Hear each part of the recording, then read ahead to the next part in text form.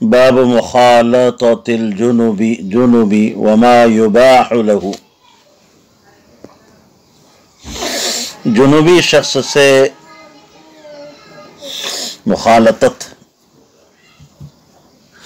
मिलना जुलना वमा युबाह और उमूर, उन उमूर के बयान में जो जुनुबी के लिए मुबाह हैं।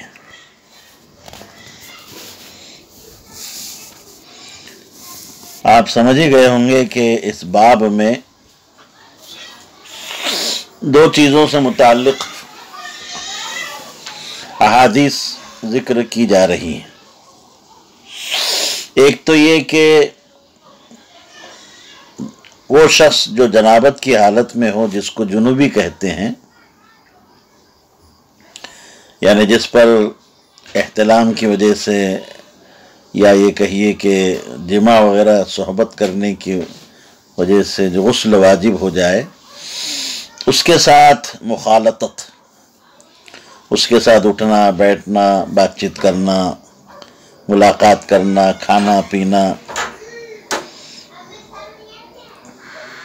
इसी तरह दूसरे मामलात करना जायज़ है।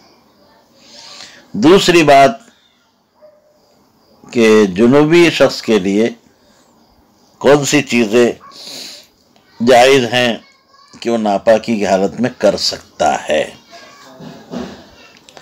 जनाबत, जिसका असली माना है दूरी बौद जुनूबी को जुनूबी इसीलिए कहते हैं कि जुनूबी जुनूबी जुनूबी नहीं, बहुत से लोग जुनूबी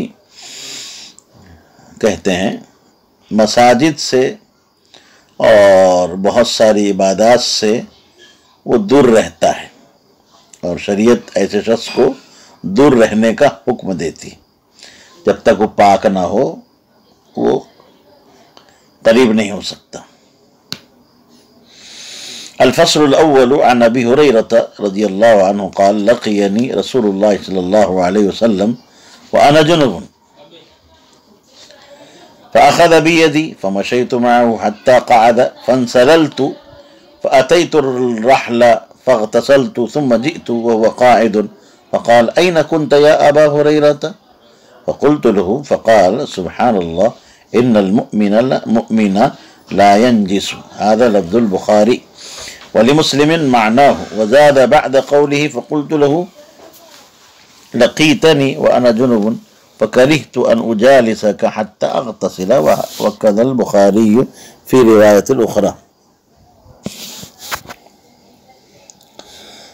हजरत अबू हुरैरा रजी अल्लाह तु से रिवायत है वो फरमाते हैं कि नबी करीम सल्लल्लाहु अलैहि वसल्लम की मुझसे मुलाकात हुई इस हाल में कि मैं जुनूबी था।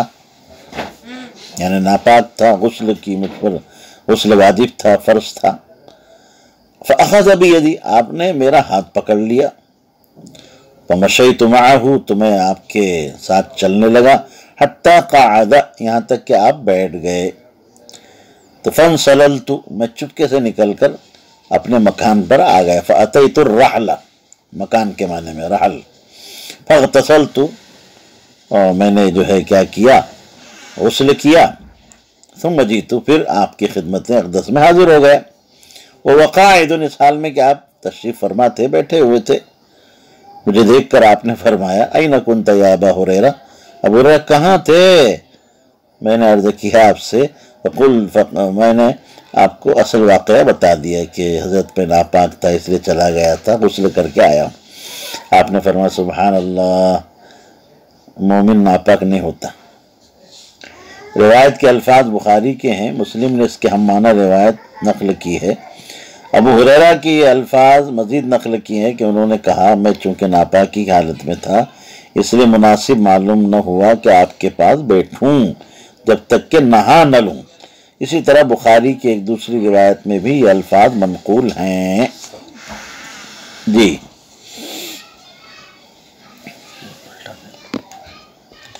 हदीस का मतलब यह है कि जनाबत जो है ना, ये हुक्मी नजासत है। शरीयत ने उसका हुक्म किया, उस पर गसल को वाजिब करार दिया है। इसलिए हालत जनाबत में आदमी हकीकतन नजिस नहीं होता। यानी उसकी ज़ात और उसका आयन नापाक नहीं होता। यही वजह है कि जुनूबी का झूठा पाक है। इसी तरह जुनूबी आदमी का पसीना भी जो है क्या है? पाक है। तो उसके साथ मुजालसत इख्तियार करना, मुकालमत बातचीत करना, मुसाफा करना, मिलना, जुलना, है? इससे साबित हो रहा है। दूसरे मामला, इसमें कोई बुराई की बात नहीं है। मोमिन की तखसीस नहीं है। इसमें सभी जो है क्या है? दाखिल है। अब मुशरकिन को जो नजिस कहा गया है, वो उनकी मानवी और एतकादी नजासत है। अब इबन अब्बास रज़ी अल्लाह तु से जो ये मरवी है कि उनके आयान खंजिन की तरह नजिस हैं। ये ये तबाउद में मुबालगा।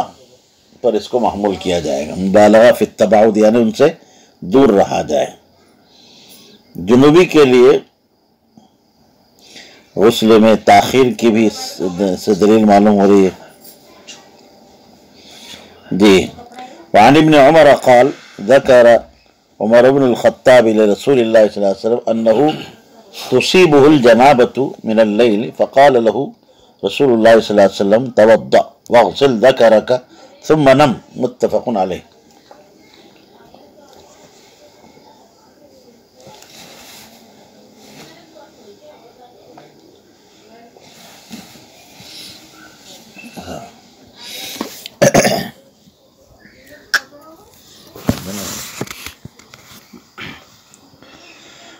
हज़रत इबन उमर रजी अल्लाह तु से रिवायत है कि उमर बिन ख़त्ताब ने अल्लाह के रसूल वसल्लम से अर्ज़ किया कि अनहू तुसीबुल जनाबत। कि मुझे रात को जनाबत लायक होती है। फ़काल रहू रसूल्ला तो आप से अल्लाह के रसूल ने फरमाया कि तवद्दा, उमर वज़ू कर लिया करो और अपने अजब तनासुल को धो लिया करो, फिर सो जाया करो। जी। वज़ू करना जुनूबी शख्स के लिए सोने से पहले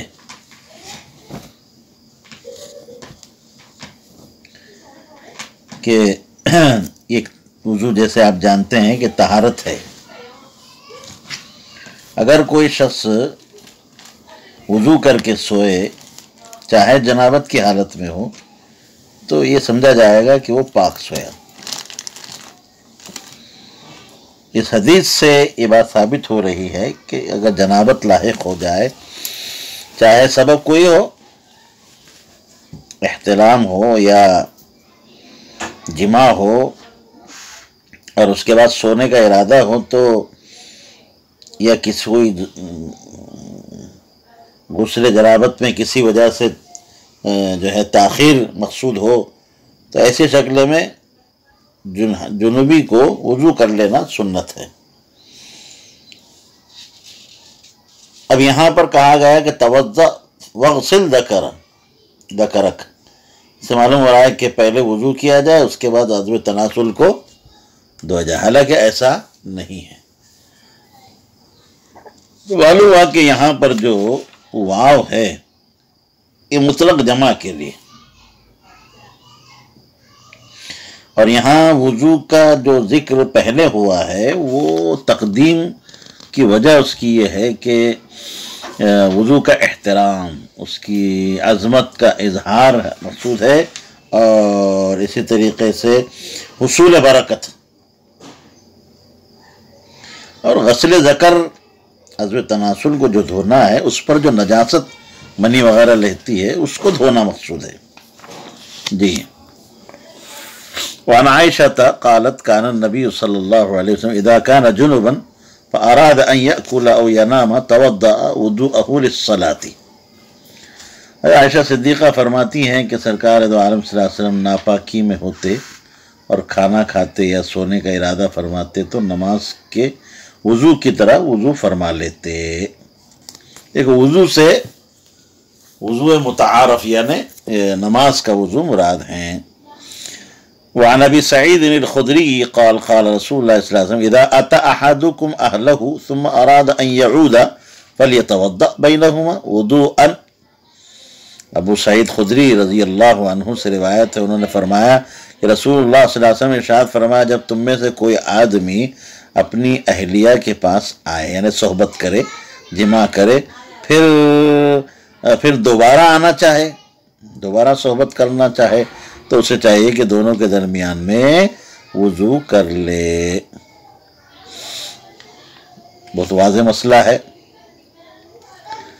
देखिए, पहली हदीस से भी ये बात मालूम हो रही है कि जुनूबी शख्स के लिए मुस्तहब है कि नापाकी में अगर सोने और खाने पीने या दोबारा जिमा करने का इरादा करे तो अपने अजब तनासुल को धो लेना चाहिए और वज़ू करके सो जाना चाहिए।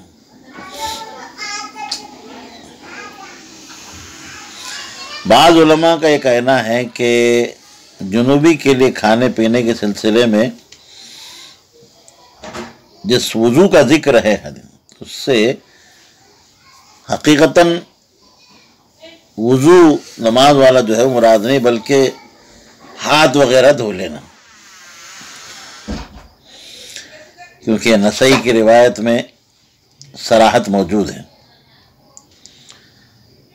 तो दोनों रिवायतों से बजाराहत ये बात मालूम हो रही है कि हकीकत में नमाज़ के वज़ू की तरह वज़ू किया जाए।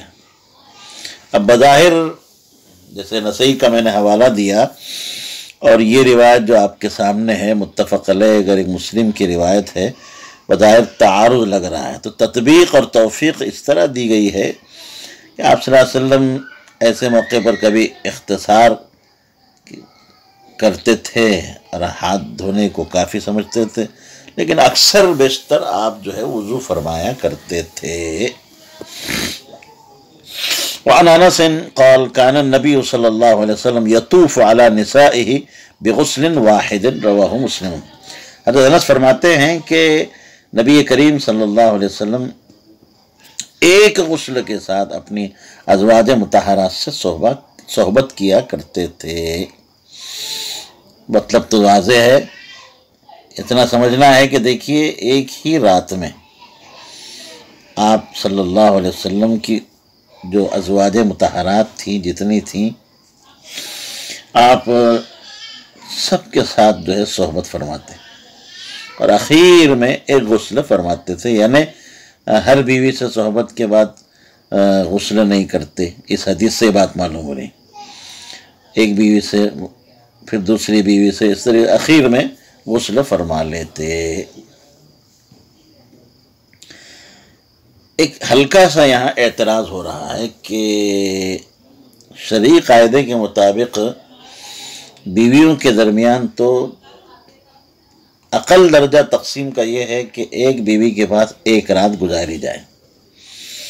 अगर किसी के पास एक से जायद बीवियाँ हों तो उनके दरमियान में बारी मुकर करना चाहिए शरी कायदा है।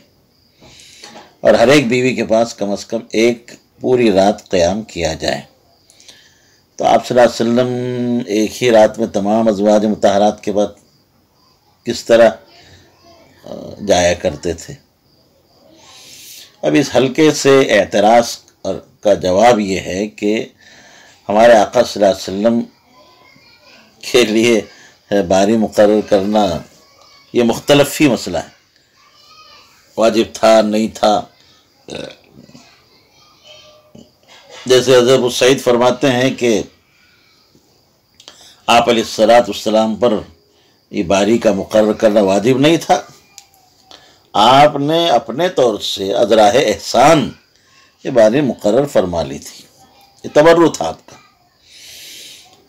मगर अक्सर उलमा का कहना यह है कि आप वसल्लम पर भी बारी मुकर करना ज़रूरी था।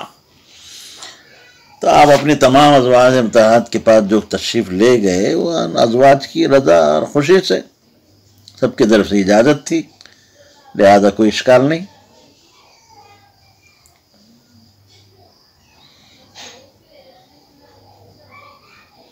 जी। अब ये भी मुमकिन है कि आपने दरमियान में वज़ू फरमा रहे हो, या आपने जो है बयान जवाज़ के लिए ऐसा किया हो, तर्क कर दिया हो? आपको ये भी बात मालूम होनी चाहिए कि हमारे आका वसल्लम को जन्नती चालीस मर्दों की क़वत अता फरमाई गई थी। तो अंदाज़ा लगाइए, इस एतबार से चार हज़ार मर्दों की क़वत होती है।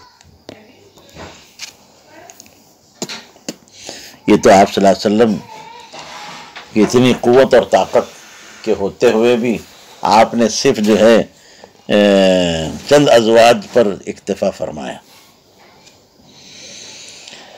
अल्लाह अकबर। नबी वसल्लम यदकुरुल्लाह अला कुल्ल अहयानिही। रवाह मुस्लिम व हदीस अब्बास सनस्कुरहु फ़ी किताब अतमती इन ताला।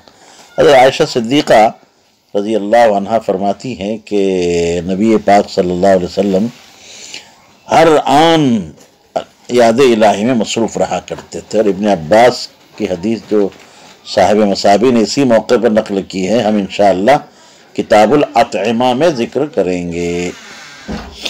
अब आयशा रज़ी अल्लाह के इस इरशाद का मतलब ये है कि नबी करीम सल्लल्लाहु अलैहि वसल्लम किसी भी हालत में अल्लाह के ज़िक्र से गाफिल नहीं रहा करते थे। चाहे नापाकी की हालत हो, बेवजू हो या कोई भी हालत हो। हमेशा मशगूल रहते थे। मगर नापाकी में कुरान की तिलावत नहीं करते थे। इसी तरह बैतुलखला में और गौसल खाने में अल्लाह का ज़िक्र नहीं करते थे। बाज़ा ने लिखा है कि ज़िक्र से मुराद, जैसे अल्लाह अशरफ फरमाते हैं कि ज़िक्र की दो किस्में हैं, ज़िक्र कलबी और ज़िक्र लसानी, और ज़िक्र कलबी, ज़िक्र लसानी के मुकाबले में आला है। जी तो यहाँ ज़िक्र से ज़िक्र कलबी मुराद है, और अल्लाह की कुदरत में जो है गौर फ़िक्र मुराद है। जी, इसीलिए आप बैतुलखला से निकलने के बाद गफराना का फरमाया करते थे। जी। अन अब्बास अल्फसलसानी अन अब्बास रज़ी अल्लाह क़ाल इगतसल बाद अजवाज नबी वसल्लम फ़ी जफनतिन अराद रसूल वसल्लम यतवद्दा मिनहु फ़क़ालत या रसूल अल्लाह इन्नी कुंतु जुनुबन फ़क़ाल इन्नल माअ ला युजनिबु रवाहु तिरमिज़ी व अबू दाऊद व इब्न माजा व रवा दारमी नहवहु व फ़ी शरह सुन्ना अनहु अम मैमूनत बिलफ्ज़िल मसाबीह जी। हज़रत इब्न अब्बास फरमाते हैं कि एक दिन नबी करीम वसल्लम की किसी जौजा ने,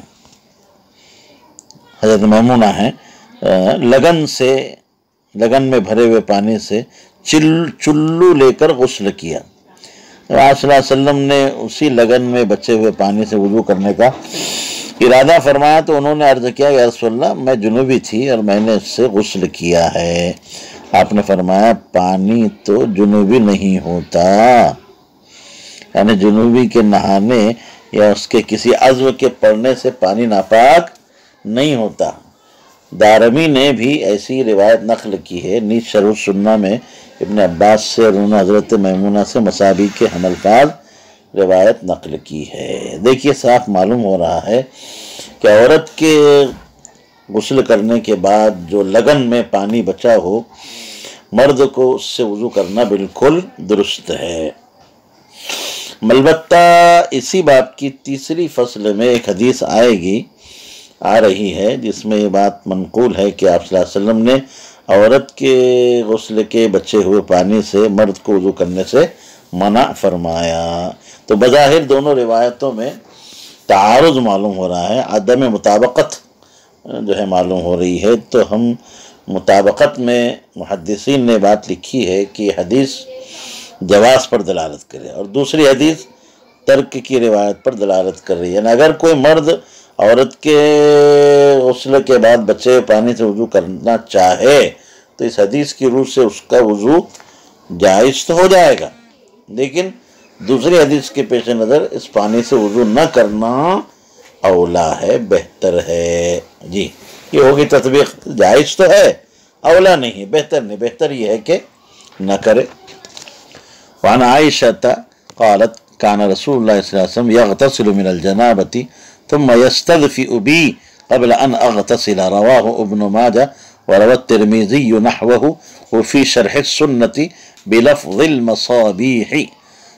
हज़रत आयशा सिद्दीक़ा फरमाती हैं कि रसूल अकरम सल्लल्लाहु अलैहि वसल्लम जनाबत का गसल फरमाते थे फिर मुझसे लिपट कर गर्मी हासिल फरमाया करते थे मेरे गसल करने से पहले पहले। इसको रिवायत किया तिरमिजी ने इसी के मिश्र ज़िक्र रिवायत किया है। और शरह सुन्ना में मसाबी के हम लफ्ज़ रिवायत मनकूल है। देखिए आयशा फरमाती हैं, देखिए, कितनी जो है, खानगी बात है, लेकिन तालीम उम्मत के लिए उसको वाज फरमा रही हैं कि, है, आजकल तो कौन ऐसा ज़ाहिर करेगा हुँ? हम्म? हम बिस्तरी से फारिग होते तो मुझसे पहले आप नहा लेते थे, गसल फरमाने करते थे, और चूँकि जो है मौसम सर्द होता तो सर्द में, सर्दी महसूस होती थी कि आप मेरे पास तशरीफ़ लाते और अभी भी, मैं, अभी मैं गसल की, नहीं करती जो हालत जनाबत में होती तो आप मुझसे चिमट कर लेट जाया करते थे ताकि गर्मी हासिल हो जाए। इससे बात साबित हो रही कि जुनूबी का बदन नापाक नहीं होता, पाक होता है। लिहाजा उसके साथ मिलकर लेट जाने में कोई मुजायका नहीं है, बल्कि जायज़ है, दुरुस्त है।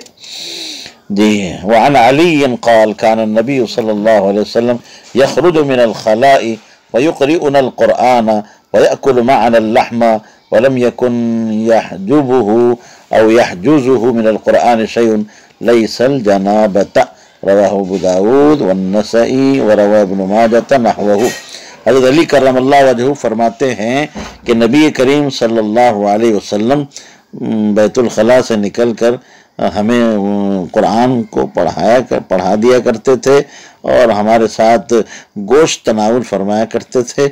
आपको कुरान पढ़ने से सिवाय जनावत के कोई चीज़ नहीं रोकती थी। लईसा यहाँ पर लईसल जन लईसल जनाबत ये लईसा इल्ला के माना में इल्लल जनाबत जी। इस हदीस पाक में जो है दो मसलों की वजाहत है। एक तो ये है कि आप बैतुलखला से निकलते, अभी वज़ू नहीं था। वज़ू से पहले आप कुरान करीम का पढ़ना, पढ़ाना, इससे मालूम हो रहा है कि जायज़ है। मगर एक शर्त है कि अपने हाथों से कुरान करीम को न छुए, मस न करें। हाँ बिला वज़ू आप पढ़ भी सकते हैं, पढ़ा भी सकते हैं। छूना ये जो है, जायज़ नहीं है। दूसरा मसला ये है कि कुरान करीम को नापाकी की हालत में पढ़ना भी जाए न पढ़ना पढ़ना जो है ये नाजायज़ है।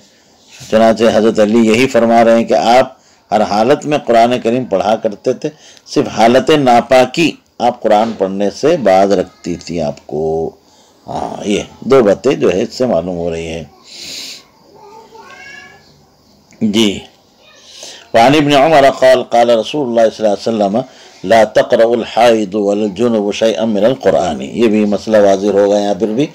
हज़रत अब्दुल्ला बिन उमर से रिवायत है कि रसूल अकरम सल्लल्लाहु ने इरशाद फरमाया कि हैज़ वाली औरत अयाम हैज़ में और जुनूबी शख्स शैअम मिनल क़ुरआन।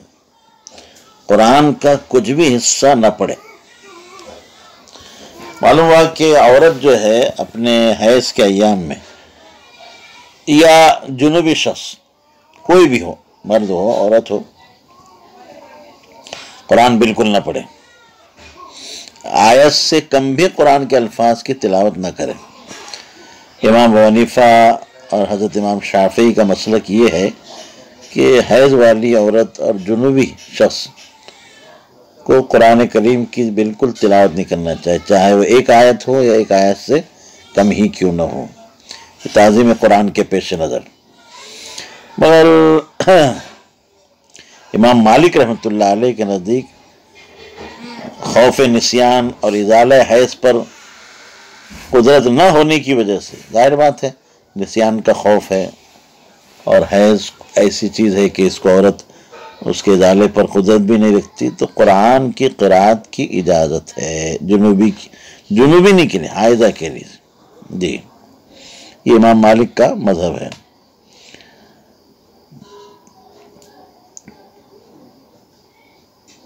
मगर बाद कहते हैं कि हायजा हो या जुनूबी, एक आयत या ज़्यादा हिस्से की तिलावत हराम। अलबत् एक आयत से कम की तिलावत उसके लिए हराम नहीं। हाँ अगर कोई नापाक शख्स, चाहे वह हैज़ की वजह से हो जनाबत की वजह से तो महज ज़िक्र के तौर पर, शुक्र के तौर पर अगर कोई अल्हम्दुलिल्लाह रब्बिल आलमीन पढ़ दे तो ये जायज़ है। जी, इसमें कोई हरज नहीं। वान आयशता रज़ी अल्लाह कालत, काल रसूल वसम वज्जहू हाजिलबयूत अनिलमस्जिद फ़िन्नी ला उहिल्लुलमस्जिद लिहाइदिन वला जुनुबिन आयशा सिद्दीक़ा रज़ी अल्लाह से रिवायत फरमाती हैं कि रसूलुल्लाह वसल्लम ने इरशाद फरमाया मकानों के दरवाजे मस्जिद की तरफ़ से फेर दो क्योंकि हाइदा और जुनूबी को मस्जिद में दाखिल होना खा वो ठहरने के लिए हो या वहाँ से गुजरने के लिए मैं जायज़ नहीं करता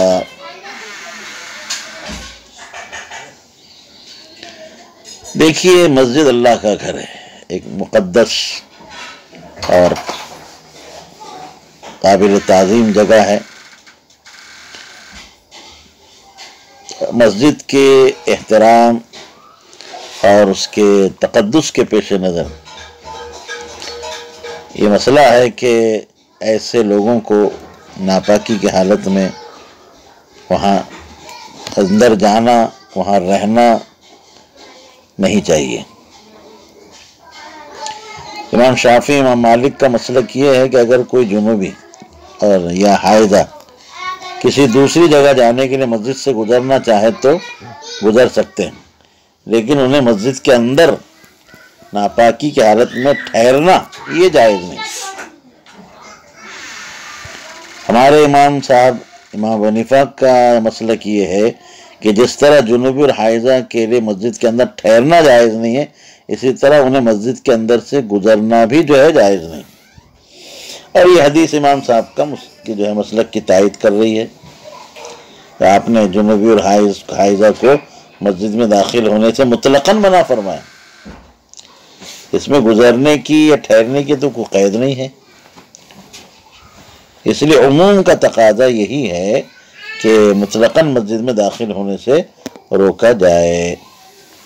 इमाम अहमद रहमत के यहाँ वज़ू के साथ दाखिल होना जायज़ है। वो सहाबा का अमल ज़िक्र करते हैं इस्तलाल में। हम कहते हैं कि भाई हदीस मरफू के मुकाबले में सहाबा का अमल क्या माना रखता है। वन अली रज़ी अल्लाह क़ाल क़ाल रसूल वसम ला तदखलमलाइकत बैतन फ़ी सूरत वला कल्बन वला जुनबन रवाहू दाऊद वन्नसई अली करम वजहू से रिवायत है कि नबी करीम सल्लल्लाहु अलैहि वसल्लम ने फरमाया जिस घर में तस्वीर हो या कुत्ता हो या जुनूबी हो उसमें फरिश्ते दाखिल नहीं होते देखिए फरिश्ते एक तो होते हैं रहमत के फरिश्ते और एक वो फरिश्ते हैं जो किरामन कातिबीन हमारे जो है दाएँ बाएँ हमेशा जो है हमारे अमाल को नोट करते हैं, लिखते हैं। यहाँ फरिश्ते, फरिश्तों से रहमत के फरिश्ते मुराद हैं। फरिश्ते, ऐसे रहमत के फरिश्ते कैसे घर में दाखिल नहीं होते? थे तीन चीज़ें। एक तो तस्वीर, जानदार की तस्वीर हो, दीवार पर लगी हुई हो, या छत में लगी हुई हो, दरवाज़ों पर हो तो रहमत के फरिश्ते घर में दाखिल नहीं होते। हाँ अगर तस्वीर नीचे हो, फर्श पर हो, पाँव रखने की जगह पर हो तो उसमें कोई मुजायका नहीं। इसी तरीके से तस्वीर अगर ज़ीरू की ना हो, गैर जानदार की हो, पहाड़ की है, दरख्तों की है, इमारत की है तो फिर ऐसी हरज, कोई हरज नहीं यह तस्वीर जानदार की है, मगर उसका सर कटा हुआ है तो ये भी दुरुस्त है। इसी तरह तस्वीर ऐसी जगह हो जहाँ उसको रौंदा, जैसे मैंने अभी बताया, फर्श पर हो, उसमें पैरों के नीचे आ रही हो तो दखुल, फरिश्तों के दखुल के लिए माने नहीं। इसी तरह जो है नाबालिग लड़कियों के लिए घरों में गुड़िया रखना भी, ये भी जो है जवाज मालूम हो रहा है। इसी तरह से ऐसे सिक्के जिन पर तस्वीरें बनी होती है, जैसे हमारे जेबों में नोटें होती है सिक्के होते हैं, उसमें शेरों की तस्वीर होती है गांधी जी की तस्वीर होती है।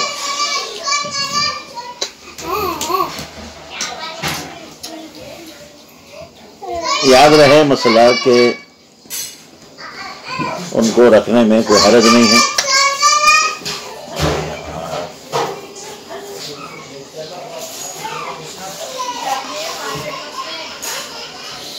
कुत्तों का मसला ये है कि अगर किसी मकान में कुत्ते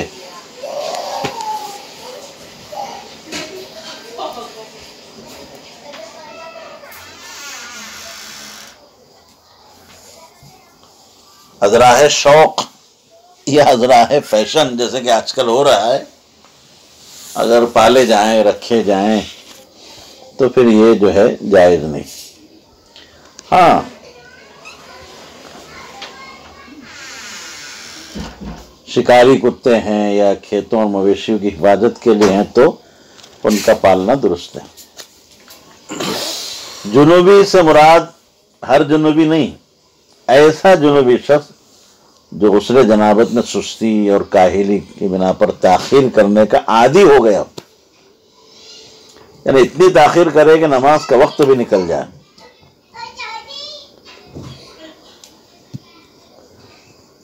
या फिर ऐसा जुनूबी मुराद है जो वज़ू भी, वज़ू ना करता।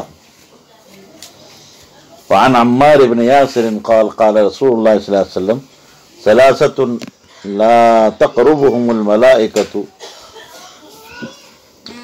ला तक़रबुहुमुल मलाइकतु जीफतुल काफिरी, वल मुतगम्मिखु बिल खलूक़ी वल जुनुबु, इल्ला अन यतवद्दा। अबू रवाहु अबू दाऊद। हज़रत अम्मार बिन यासिर रज़ी अल्लाह से रिवायत है कि रसूल अकरम सल्लल्लाहु ने इरशाद फरमाया, तीन शख्स ऐसे हैं कि रहमत के फरिश्ते उनके करीब भी नहीं आते। एक काफिर का बदन, दूसरे खलुक का मलने वाला तीसरे जुनूबी शख्स जब तक के वज़ू न करे। देखिए, तीनों चीज़ें अलग अलग जीफा से मुराद काफिर का बदन, चाहे वो ज़िंदा हो या मुर्दा। जीफा वैसे असल में मुर्दार को कहते हैं, और यहाँ पर काफिर का बदन मुराद लिया गया है। ज़ाहिर काफिर भी जो है मुर्दा ही होता है। वो नजासत शराब नोशी, सुअर खोरी तो परहेज न करने की वजह से वो नापाक होता है। खलूक एक ऐसी खुशबू है जो मुरक्कब होती है ज़ाफ़रान वगैरह से बनती है और वो रंगदार होती है। इसलिए ऐसी खुशबू का इस्तेमाल मर्द के लिए मुनासिब नहीं है, औरतों के साथ मुशाबत होती है। मर्दों को उसको लगाना मना है। औरतें इस्तेमाल कर सकती हैं। अगर कोई मर्द उसे लगा लेता है तो रहमत के फरिश्ते उसके करीब नहीं जाते। क्यों? इसलिए कि रूनत पाई जाती। दो वजह है रूनत और औरतों से मुशाबात। अलामा तीबी फरमाते हैं कि इशारा, जो शख्स सुन्नत के खिलाफ काम करता है अगर तो बज़ाहिर जीनत और खुशबू से मुअत्तर होता हो, लोगों में उसका एहतराम भी होता हो उसको इज़्ज़त की नज़रों से देखा जाता, मगर खिलाफ सुन्नत करने की वजह से हकीकत में वो नजिस है, बल्कि लिखा है कि कुत्ते से भी ज़्यादा खसीस होते। और जुनूबी के हक में आपका इरशाद जजर तोबीख पर महमूल है। ये जुनूबी गसर जनाबत में देर नहीं करना चाहिए उसको। ये हालत जनाबत में बहुत सारे लोगों को आदत हो जाती है। पूरा पूरा दिन जो है ऐसे ही नापाक फिरते हैं। और नमाज कज़ा हो जाती है ऐसे लोगों के लिए इसमें तहदीद है तोबीर है जज्र है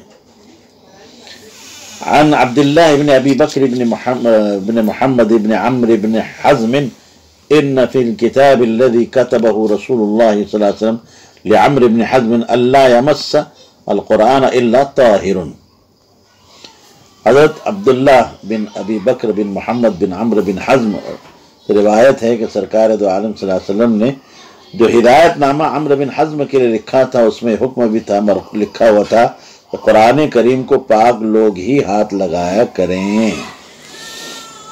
जी। वाज मसला है भाई।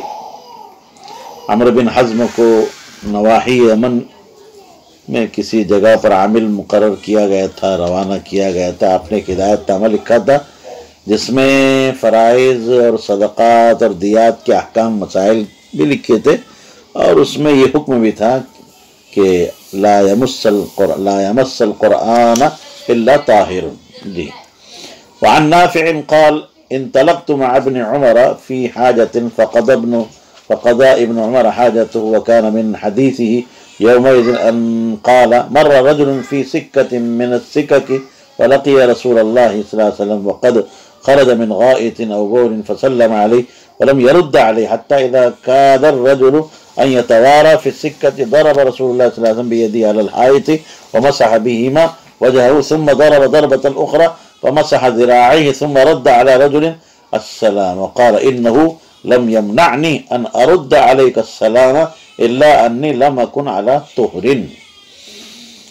हज़रत नाफे रहमतुल्लाह अलैह फरमाते हैं कि एक दिन अब्दुल्ला बिन हज़रत इबन उमर इस्तंजे के लिए जा रहे थे। मैं भी उनका हमरा हो गया। तो उन्होंने इस्तंजा किया और उसके बाद उन्होंने उस रोज़ ये हदीस बयान की कि एक शख्स किसी कूचे में जा रहा था, गली में जा रहा था। और सरकार दो आलम वसल्लम पेशाब या पाखाने से फारिग होकर तशरीफ़ ला रहे थे। उसने आपसे मुलाकात की और सलाम अर्ज़ किया। तो हज़रत ने सलाम का जवाब नहीं दिया। जब ये शख्स दूसरे कूचे में मुड़ने को हुआ, तब नबी करीम वसल्लम ने तयम के लिए अपने दोनों हाथ दीवार पर मार कर मुँह पर फेरे, फिर दूसरी मरतबा जो है अपने जरब लगाए अपने हाथों पर कोनियों तक फेरे। उसके बाद उस शख्स के सलाम का जवाब दिया और फरमाया, मुझे तुम्हारे सलाम का जवाब देने से किसी चीज़ ने नहीं रोका था, फ़कत ये बात थी कि मैं बेवजू था। देखिए भाई पूरे वाक़े से ये बात मालूम हो रही है कि एक बार पहली बात तो ये मालूम हुई कि उस शख्स के सलाम का जवाब आपने क्यों नहीं दिया? तो याद रखिए, सलाम ये अल्लाह का नाम है।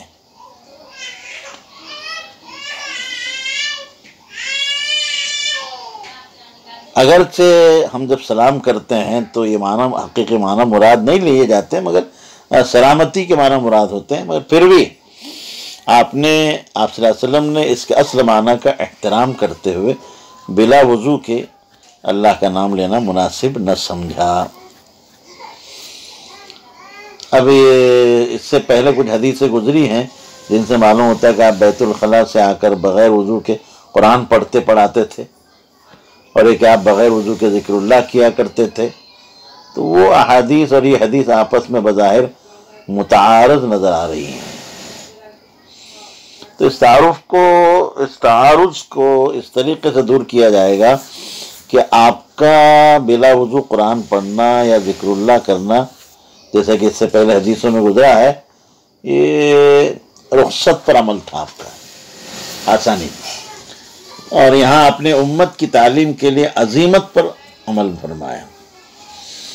यानी ये बताया ना मकसूद है कि बेवजू अल्लाह का नाम लेना जायज़ तो है, नाजायज़ नहीं है, मगर अवला ये है और अफजल ये है कि वज़ू करके अल्लाह का नाम लिया जाए। तो इस हदीस से दो चीज़ें मालूम है। पहली बात तो सलाम का जवाब देना वाजिब है। दूसरे कि अगर कोई शख्स किसी उज्र के बिना पर सलाम का जवाब न दे सके तो मुस्तहब ये कि उसके बाद अपना वो उज्र जिसकी वजह से सलाम का जवाब नहीं दे सका है। सलाम करने वाले के सामने बयान कर दे तो भाई। ऐसा था भाई इसे मैं जवाब नहीं दे सका। ताकि वो शख्स जो है, इस सलाम के जवाब के न देने को गुरूर और तकबर पर महमूल न करें। यानी वो ये ना सोचे कि इसने गुरु और तकबर के बिना पर मेरे सलाम का जवाब नहीं दिया। जी, वानिल मुहाजिर बिन कुनफुदिन अन्नहु अतन नबी सल्लल्लाहु अलैहि वसल्लम वहुव यबूल फसल्लम अलैहि फलम यरुद्द अलैहि हत्ता तवद्दा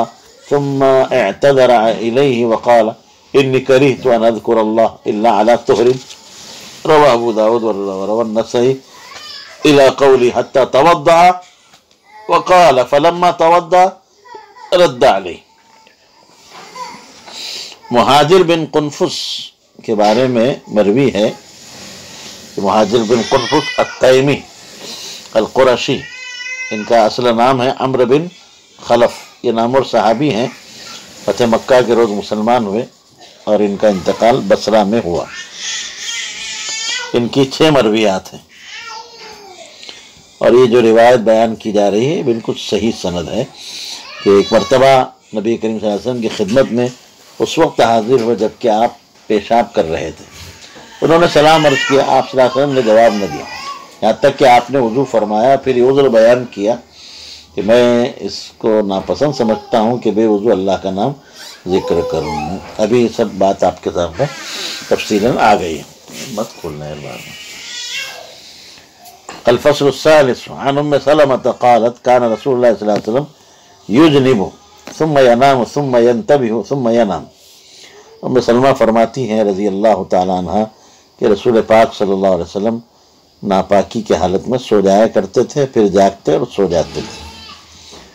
जी, इससे पहले भी जो है, गुजर चुका है कि आप हालत जनाबत में सोने का इरादा फरमाते तो वज़ू फरमा लिए और उसके बाद सोते थे। इस हदीस में सराहत नहीं है इस बात की और यहाँ भी यही मुराद है कि आप वज़ू करने के बाद आराम फरमाया करते थे। या ये कहा जा सकता है कि आप कभी बगैर वज़ू के भी सो गए थे बयान जवाज के लिए आपने ऐसा किया जी जी मगर अफजल यही है कि वजू करके सोया जाए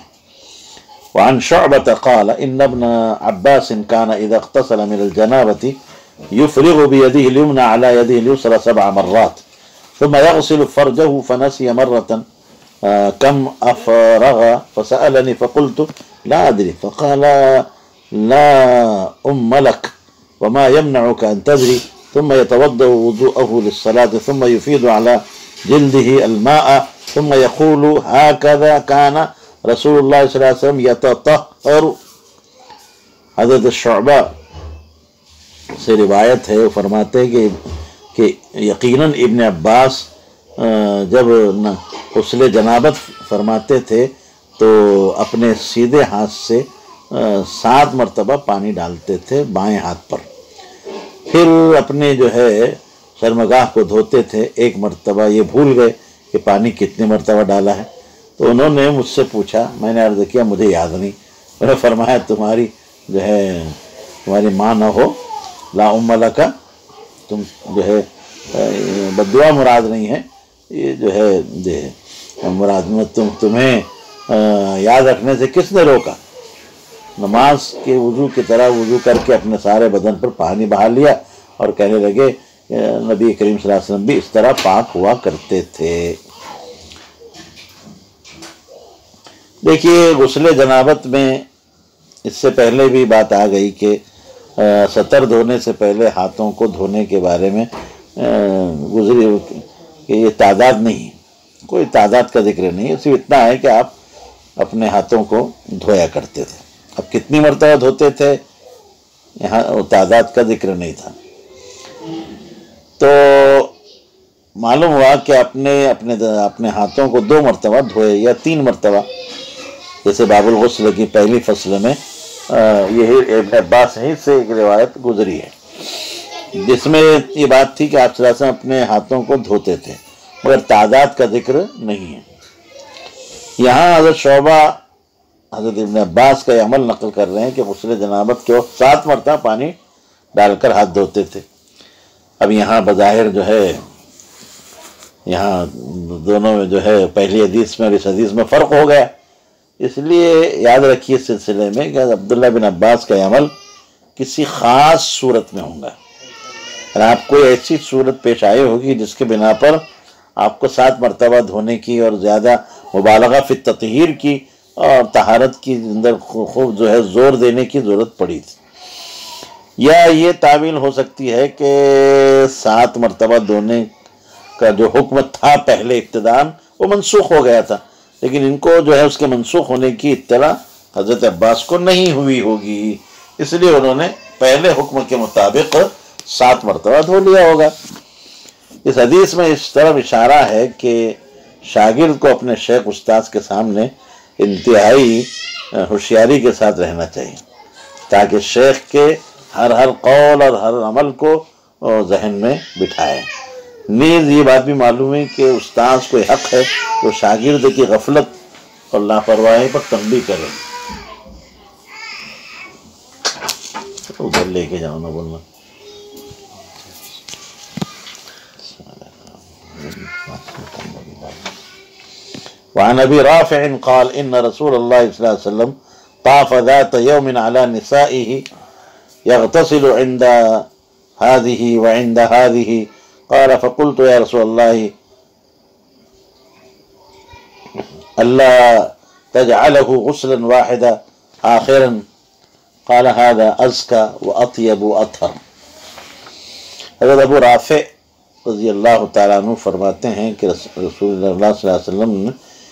एक रोज़ अपनी तमाम अजवाज के पास तशरीफ़ ले गए। यानी जमा किया और हर एक बीवी से फरागत के बाद अलग फरागत के बाद अलाहिदा अलाहिदा गसल फरमाया। अबू राफ़ कहते हैं कि मैंने अर्ज़ किया रसोल्ला आपने आखिर में एक ही मरतबा क्यों ना गसल फरमा लिया? आपने फरमाया, हर जमा के बाद गसल करना अज़का, खूब पाक करता है। जी, नफ्स के लिए बहुत खुश आइंद है। और जिस्म को खूब साफ़ करता है। जी। देखिए इससे पहले भी एक हदीस गुजरी है। हदीस नंबर पाँच गालिबन। आपने उसमें ये ज़िक्र है कि आपने एक ही रात में तमाम जवाज मतहरात से सहबत फरमाई और आखिर में एक ही गसल फरमाया और यहाँ एक बयान हो रहा है कि आपने आ, हर बीवी से फरागत के बाद अलाहदा अलाहदा गसल किया तो बज़ाहिर दोनों रिवायतों में जो है तारुज मालूम हो रहा है। तो तत्बीक इस तरीके से दी गई है कि आपका जो पहला अमल है, वो बयान जवाब के लिए और तहसीरन अल उम्मा, उम्मत को आसानी के लिए था। जी। तो अफजल और बेहतर यही है कि हर जमा के बाद गसल किया जाए। इसलिए इस वक्त आपने हर जमा के बाद अलाहदा अलाहदा गसल फरमाया। हज़रत राबू राफ़े के जवाब में हर मरतबा गसल करने की आपने जो अल्फाज इस्तेमाल फरमाए हैं अज का अतयब अतहर इन तीनों अल्फाज के फ़र्क को अल्लाह तीबी ने यूँ ज़ाहिर फरमाया है कि ततहीर का इस्तेमाल ज़ाहरी मुनासबत से। और ततयब और तस्किया का इस्तेमाल बातिनी मुनासबत से यानी तथहीर अखलाक बद। अखलाक बद के तथहीर और इजाले के लिए। और तजकिया और ततयब अच्छी खसरतों के लिए। तो इसका मतलब ये हुआ कि इस तरह गसल करने से आ, बुरे अखलाक मसलन गुस्सा वगैरह ये भी दूर हो जाते हैं। और अच्छे अखलाक यानी हिल तकवा ये पैदा होता है। वानिल हकमी बिन अमर काल नहा रसूल वसल्लम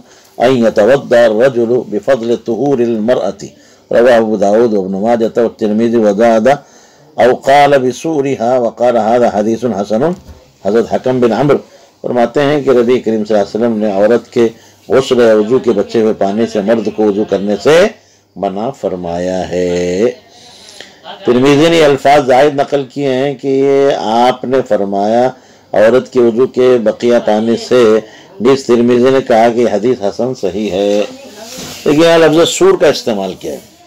गसल का माँ बकिया पानी या वज़ू का माँ बकिया पानी। लोगों माना तो सूर के झूठे के आते हैं।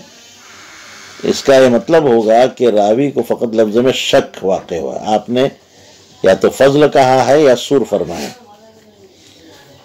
इससे पहले भी देखो, हदीस आप उसका तस्कर आया है। वहाँ जवाज़ मालूम हो रहा है और यहाँ जो है ममानात मालूम हो रही है तो बज़ाहिर तारुज है। इसलिए सैयद जमालुद्दीन रहमतुल्लाह फरमाते हैं कि इस हदीस और इसके बाद आने वाली हदीस, औरत के गसल या वज़ू के बचे हुए पानी से मर्द को वज़ू करने की जो ममानत साबित हो रही है इसको हम नाहिय तंजी ही पर मामूल किया जाए।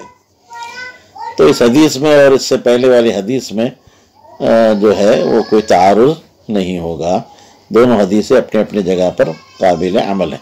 वान हमैद बिन हिमयरी काल, लकीत रजुलन साहिब नबिया सल्लल्लाहु अलैहि वसल्लम, अरबा कमा सा कमा साहबहु अबू हुरैरा काल, नहा रसूलुल्लाह सल्लल्लाहु अलैहि वसल्लम,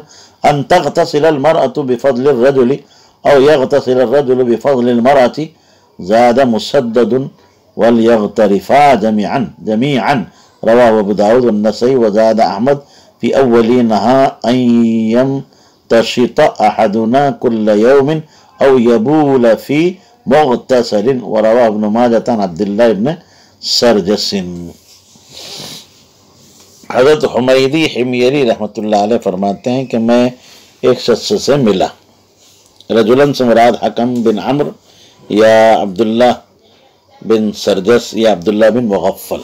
तीन नाम लिए गए हैं। जी। जो हज़रत अबू हुरैरा अनहु की तरह चार बरस नबी करीम वसल्लम की खिदमत में रह चुके थे। उन्होंने कहा कि नबी करीम वसल्लम ने इससे मना फरमाया कि औरत मर्द के गसल के बचे हुए पानी से नहाए या मर्द औरत के गसल के बचे हुए पानी से नहाए, मुसद्दत ने ये अल्फाज जायद नकल किए हैं कि दोनों इकट्ठे होकर अलायदा अलायदा चुल्लू लेकर नहा लें तो जायज़ है। अबू दाऊद, नसई और इमाम अहमद ने इस रिवायत के शुरू में अल्फाज जायद नकल किए हैं कि आपने इससे भी मना फरमाया कि कोई शख्स हर रोज़ कंगी करे और नहाने की जगह पेशाब करे। और इबन माजा ने रिवायत अब्दुल्ला बिन सरजस से नकल की है। रोज़ाना कंगी करने से इसलिए मना किया गया है कि ये उन लोगों का तरीक़ा है जिनका मकसद से बनाव, सिंगार, जेब, जीनत होता है। मसनून तरीक़ा ये है कि कंगी तीसरे रोज़ की जाए। दरमियान में एक दिन नागा कर दिए गसल करने की जगह पेशाब करना, इससे पहले भी बातें आ चुकी है। इसलिए ममनू है कि इससे वसाविस पैदा होते हैं। इबादत में हजूरी जो खुशू होना चाहिए, उसके लिए जो है ये रुकावट बनते हैं, माने बनते हैं। इस मसले की वजाहत इससे पहले आपके सामने की जा चुकी है।